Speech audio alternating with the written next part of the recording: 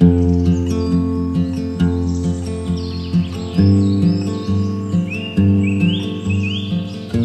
for as long as I can remember, you would always say how important it was to you that your future husband love our family and that our family loves your future husband.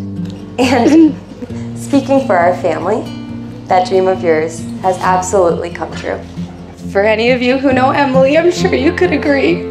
If you have her in her corner, there's never a day that goes by that you don't feel loved and supported by her. So let's raise a glass to Emily and Addison.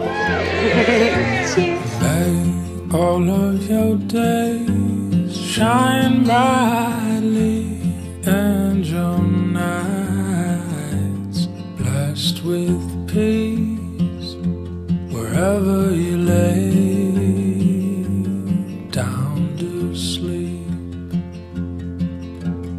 And all things are made good for those who believe. May you grow from a seed into a strong, fruitful tree.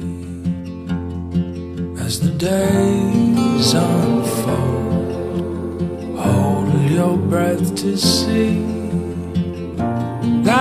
Is a mystery, and joy is severe when the way is rough and steep. But love will make your days complete.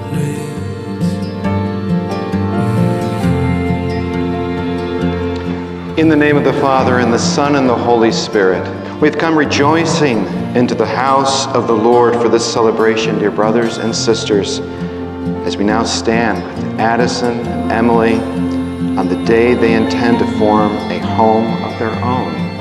For them, this is a moment of great importance. I'd like to present to you Mr. and Mrs. Owens.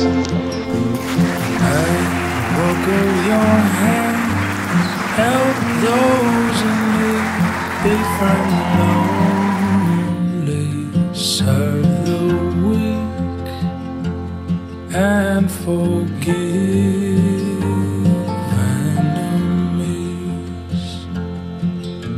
And if you find true love, one day marry, bear a child from your seed. Help it to grow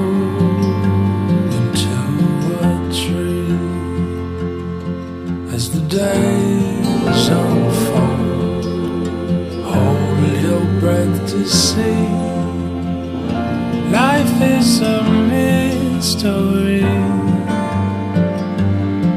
And joy is severe when the way is rough and steep. But love will make your days complete.